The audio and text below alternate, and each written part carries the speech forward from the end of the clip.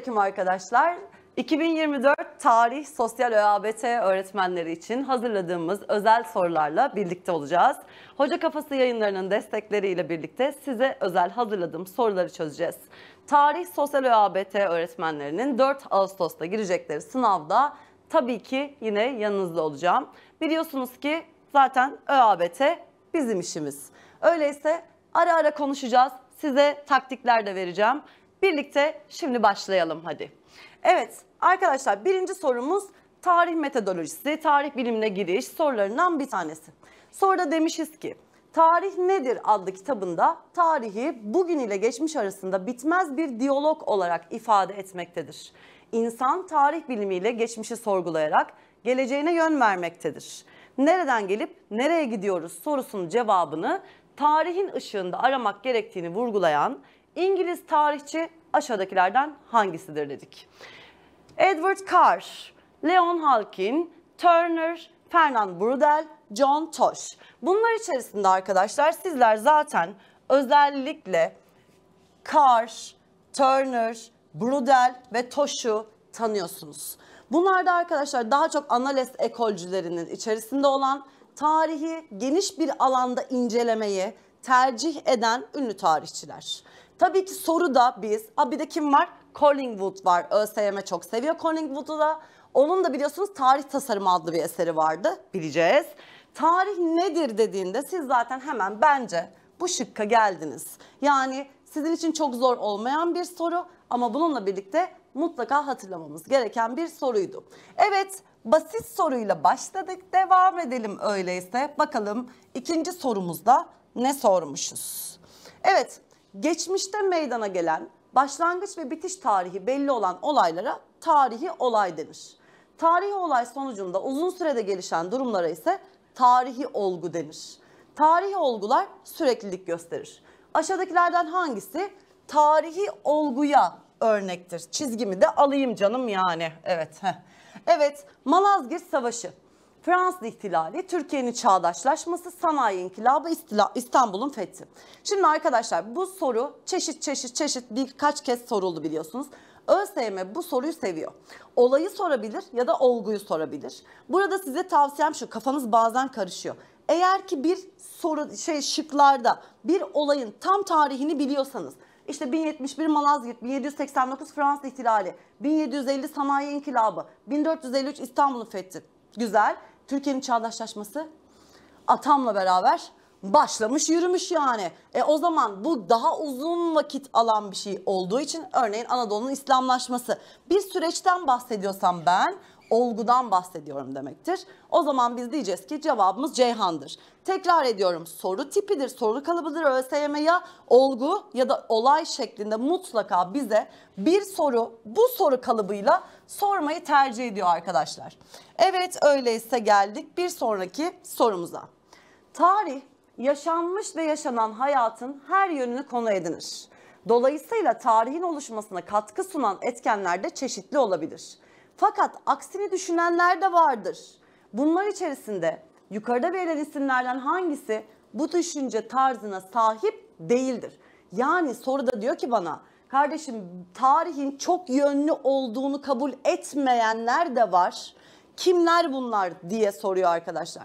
Şimdi çok yönlü olduğunu kabul edenler kimler? John Tosh tanıdık ya bak gene kalemimi unuttum. John Tosh e, bununla beraber Edward Carr.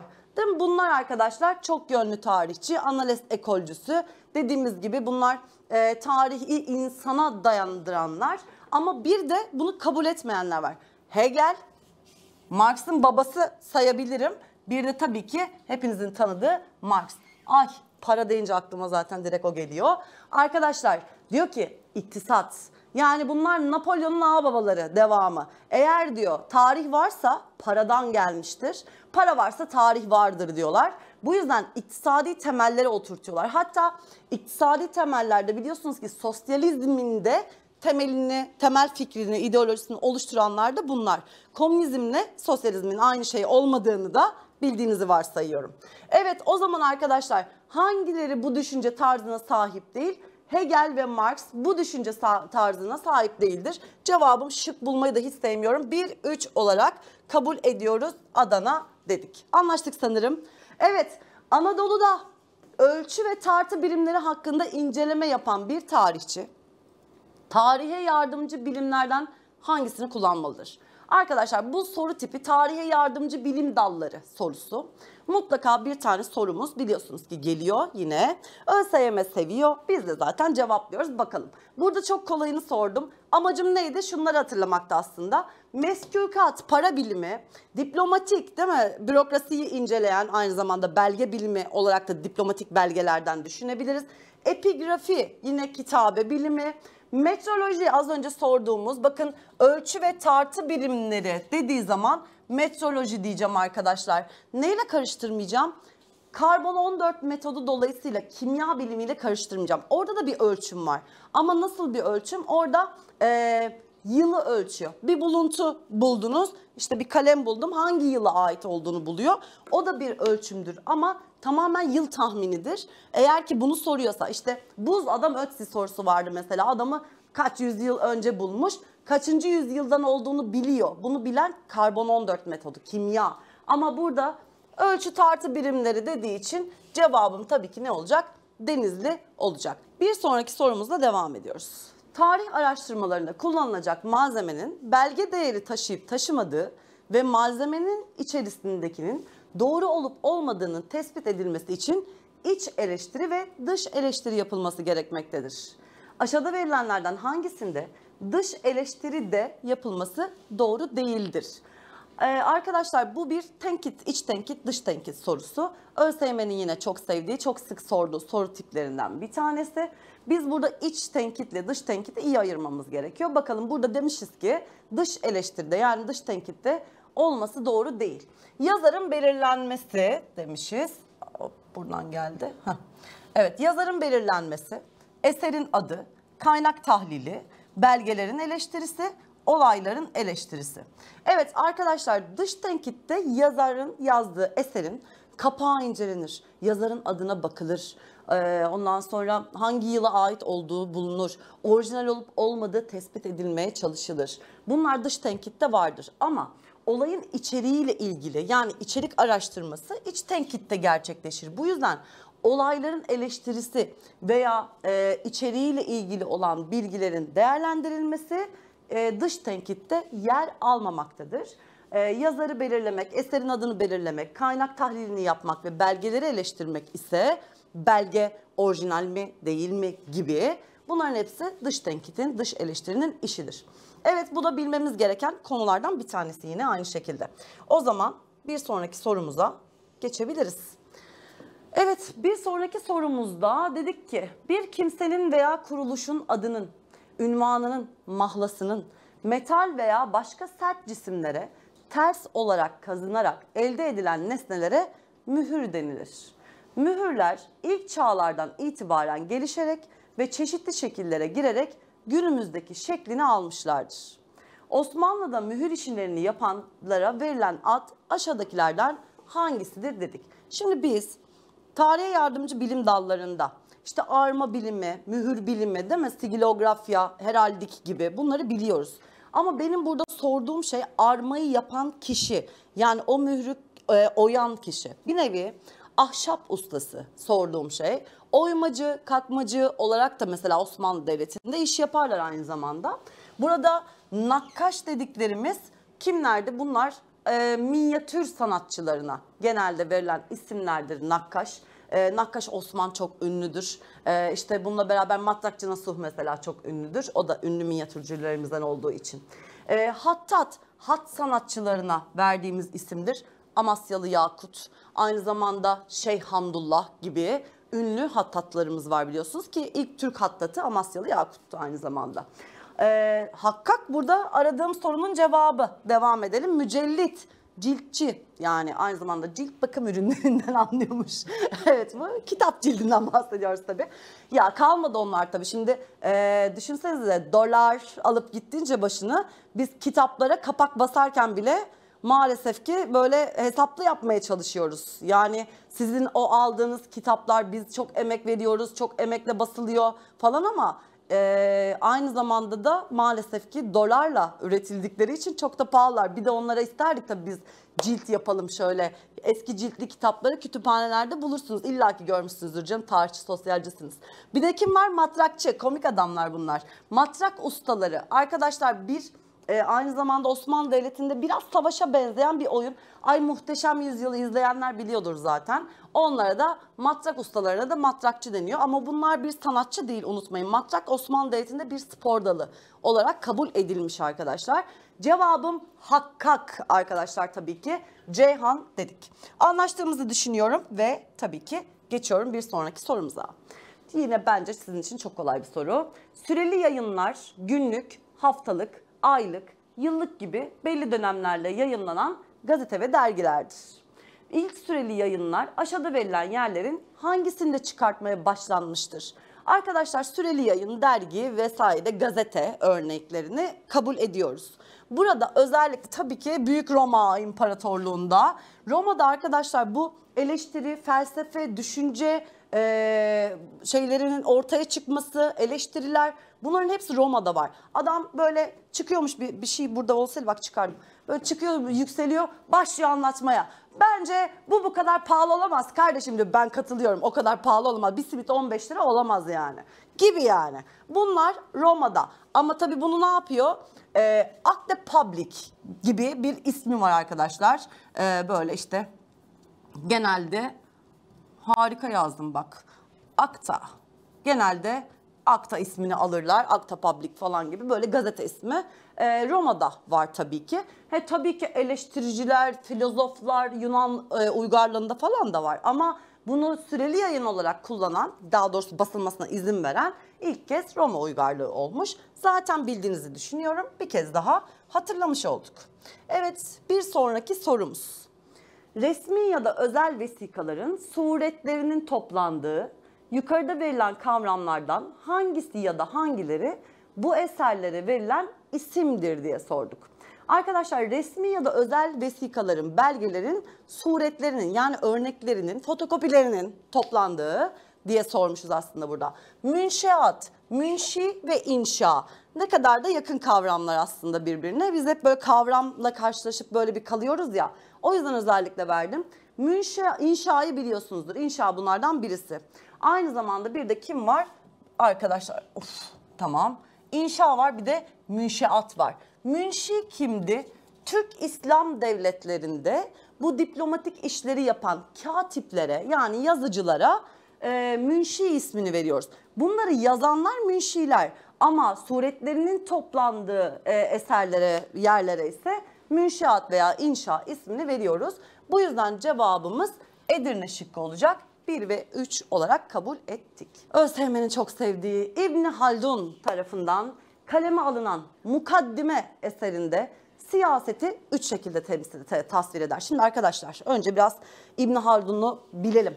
Ee, İbn Haldun ÖSYM tarafından bize tarih ve sosyal ÖABT'de ortalama ikişer üçer kez çıkmış bir adam. Bununla birlikte Mukaddime adlı eseri e, siyasi tarihe yön veren aynı zamanda bir eser. Bu yüzden çok önemsiyoruz. Ee, İbn Haldun'un eserleri belgeci tarihi de destekleyen bir eser mukaddimesi aynı zamanda. Onunla ilgili birçok soruyla karşılaştık. Şimdi ben sorulmayan kısmı sorulur diye verdim aynı zamanda. Bu da sorulmayan kısmı. Arkadaşlar diyor ki İbn Haldun mukaddimesinde e, siyaseti üç, üç şekilde anlatmış. Diyor ki akli siyaset, dini siyaset ve medeni siyaset. Bu özelliklerden hangileri diyor Osmanlı Devlet yönetiminde etkin olarak uygulanmıştır. Arkadaşlar Osmanlı Devleti'nde biliyorsunuz hukuk sistemimiz var. Şer'i hukuk var, örfi hukuk var değil mi? Ee, bununla beraber işte bu hukuk kurallarının olmasına yani bir devletin e, hukukla idare edilmesine biz akli siyaset diyoruz. Osmanlı Devleti'nin aklı başındaymış yani. Akli siyasetten kastettiği şey bu. Dini siyaset zaten biz teokratik bir devlet olma özelliğine sahip olduğumuz için iki zaten almışsınızdır. Peki ya medeni siyaset? Bence e, çoğu kişinin medeni siyaseti de alacağını düşünüyorum. Osmanlı medeniyeti falan diye. Aa, saçmalamayın. Öyle bir şey değil o. Arkadaşlar bu nasıl bir şey? E, bu cevabımız tabii ki 1 ve 2. Devam edelim anlatalım. Medeni siyasetten kastettiği şey şu. Hani bu siyasetle ilgilenen ideolojileri olan filozoflar, işte siyasi adamlar falan var ya siyasetçiler, diplomatlar. Bunların hayalindeki devlet. Yani e, ulaşılmak istenen böyle olmalı falan diye bununla ilgili örnek vereyim. Mesela Machiavelli, Prens adlı eserinde bilirsiniz Machiavelli'yi. Prens adlı eserinde diyor ki e, bir adam diyor eğer ülkeyi yönetiyorsa o kral dindar olsun ya da olmasın mutlaka dindar gözükmelidir diyor. Bakın o onun fikri. Ama ne yapmış? Siyasetle ülke böyle bir, aa, bir kaldınız. Ya Machiavelli prens hala adam 5 yıl sonra basılmış eseri ama neyse onu da almış olduk. Allah rahmet eylesin. Medeni siyaset Osmanlı'da yok arkadaşlar. Bildiğiniz anlamda bir medeniyetten bahsetmiyoruz çünkü. Şey gibi filozofların ütopyası gibi düşünebilirsiniz ülke yönetiminde tamam. Evet cevabım o zaman 1 ve 2 olacak. O zaman geldik bir sonraki sorumuza. Etnolojiyi etnografyadan ayıran temel fark aşağıdakilerden hangisidir diye sorduk. Arkadaşlar etnografya kültür bilimi, etnoloji de kültürleri inceliyor. E o zaman bunların ikisinin bir farkı olmalı. Bakın size bunu sormasa bile etnoloji bilimi ya da etnografya ile ilgili bir şey sorduğunda ikisini birbirinden ayırt etmeniz açısından en azından bu soruyu sordum. Böyle de kazanımına bakabiliriz. Toplumların dillerini incelemesi, iki veya daha fazla sayıda kültür arasında mukayeseli çalışmalar yapması, tarihi olayların gerçekleştiği mekanı açıklaması, tarihi düşünüş ve münasebetleri ortaya koyması, toplumdaki sosyal kanunları ortaya koyması. Arkadaşlar etnoloji birden fazla kültür arasındaki çalışmaları yapar. Yani aralarında bir mukayese yapar. Osmanlı İmparatorluğundaki e, toplum yapısı ile Orta Asya Türk devletlerindeki toplum yapısını inceleyebilir, karşılaştırabilir mesela. Veya İslam'dan önce e, yine Orta Asya alalım mesela. İslamiyet'ten önceki e, kadının yeri Türklerde, e, İslam'dan sonra Türk İslam devletlerinde kadının yeri diye bir kıyaslama yapabilir mesela. Bu etnolojiyi etnografyadan ayıran temel özelliktir. Etnografya ne yapar? Etnografya genel olarak kültür bilimini inceler. Mesela Osmanlı'nın o kültürünü, toplum yapısını, kültürünü, ekonomik şartlarını sadece böylece genel olarak inceler. Ama etnoloji bununla ilgili mukayese yapar. Bir, iki ayrı dönemle ilgili, iki ayrı toplumla ilgili veya ülkeyle ilgili e, şey yapabilir yani kıyaslama yapar. Farkı budur diyoruz. Evet anlaştığımızı düşünüyorum. Geldik o zaman bir sonraki sorumuza. Osmanlı Devleti'nde 19. yüzyılın ortalarından sonra yayılmaya başlayan ve dönemlerinin ikinci elden kaynağı niteliğinde olan tarihi malzeme aşağıdakilerden hangisidir? Salnameler, nekropol kanıtları, seyahatnameler, hatıratlar, biyografiler. Arkadaşlar 19. yüzyıl ortalarından sonra dediği için tarihim zaten 1847 Abdülmecit döneminde arkadaşlar salname dediğimiz yıllıklar yazılmaya başlanmıştır. Ee, o yıl olan olaylardan da bahsedilir.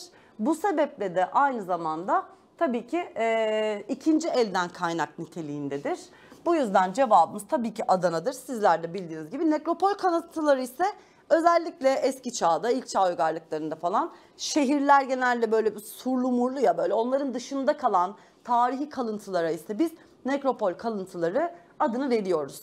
Yani çok eski çağ, ilk çağ uygarlıklarıyla falan daha çok bağlantılıdır e, diye kabul edebiliriz. Seyahatnameleri biliyorsunuz zaten. E, hatıratlar, anılar, biyografiler ise kişinin kendi hayatından bir başkasının bahsetmesine de biyografi diyoruz. Kendi kendini anlatsa, ben kendimi anlatsam şimdi mesela otobiyografi olur. Tamam mı arkadaşlar?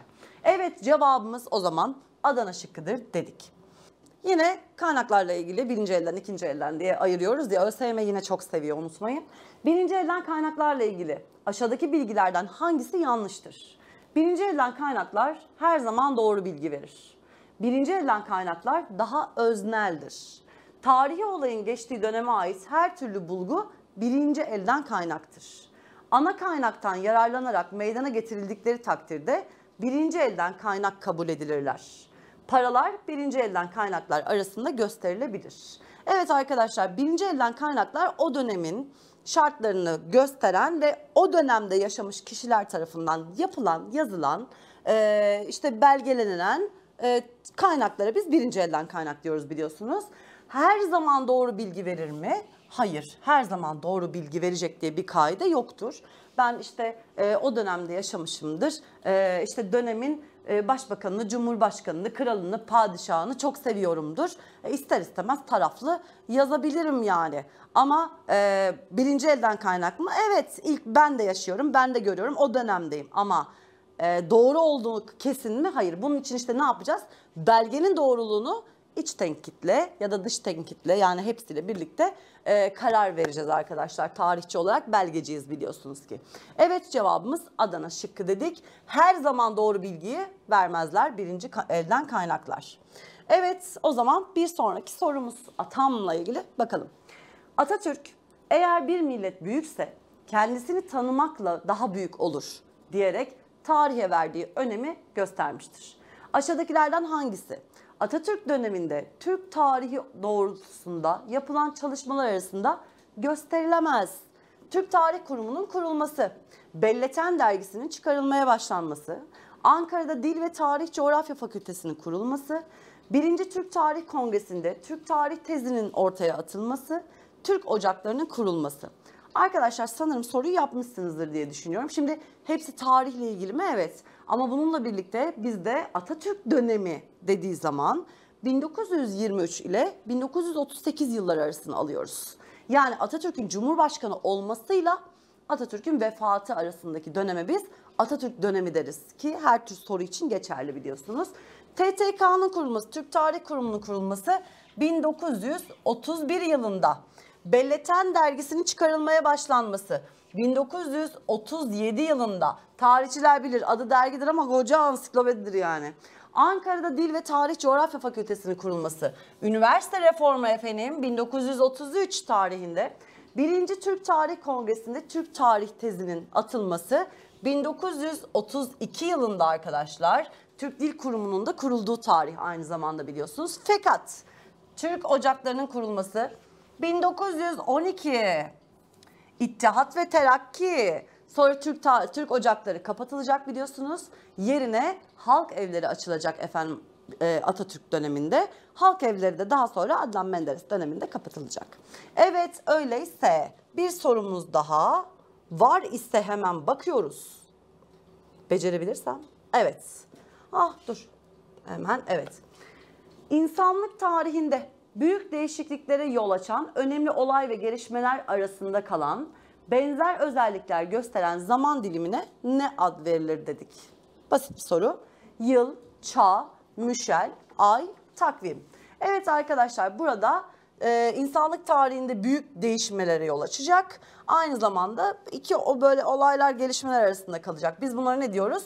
Çağ diyoruz. İlk çağ, orta çağ, yeni çağ, yakın çağ hepsi e, hemen hemen dünya üzerindeki bütün insanların e, düzenini, hayatını, tarihini etkileyen olaylar. İşte kavimler göçü gibi, İstanbul'un fethi gibi, Fransız ihtilali gibi çağların açılıp kapanmasından bahsediyoruz. Burada e, şeyde ise e, 12 hayvanlı Türk takviminde ise Müşel adını verebiliyoruz biliyorsunuz ki. Cevabımız Bursa şıkkıdır arkadaşlar. Evet ve bir sorumuz daha. Buraya yazmışız 15. soru diye. Evet, tarihi olayın özelliklerinden hangilerinin araştırılmasında bilimselliği ön plana çıkardığı savunulabilir. Özgün olması, sebep sonuç ilişkisini barındırması, kanıtlanabilmesi. Arkadaşlar bir tarihi olayın e, bilimsel olabilmesi için bir kere mutlaka biliyorsunuz ki sebep sonuç ilişkisine dayanmalı. Aynı zamanda belgelerle kanıtlanabilmiş olması gerekir. Fakat saçmalamayın özgün olmak zorunda değil yani. Biz resim mi üretiyoruz? Sonuçta her tarihi olay özgün olamaz. Hatta ne deriz biz? Tarih tekerrürden ibarettir deriz. Yani birebir olmasa bile zaman değişse de e, mekan belki değişse de bazen aynı olaylar yaşanabilir. Bu yüzden özgün olması gibi bir durum söz konusu değildir arkadaşlar. Cevabımız 2 ve 3 olacaktır. İlk partımızın sonuna geldik. Devam edeceğiz arkadaşlar. Sorularımızı çözmeye devam edeceğiz birlikte. 2024 Tarih Sosyal ÖABT'de birlikte olacağız. Evet yorumlarda buluşalım. Teşekkür ederim. Seviyorum sizi. Hoşçakalın. Hayatın akışına kapılıp tarih çalışmayı unutmayın. Görüşmek üzere.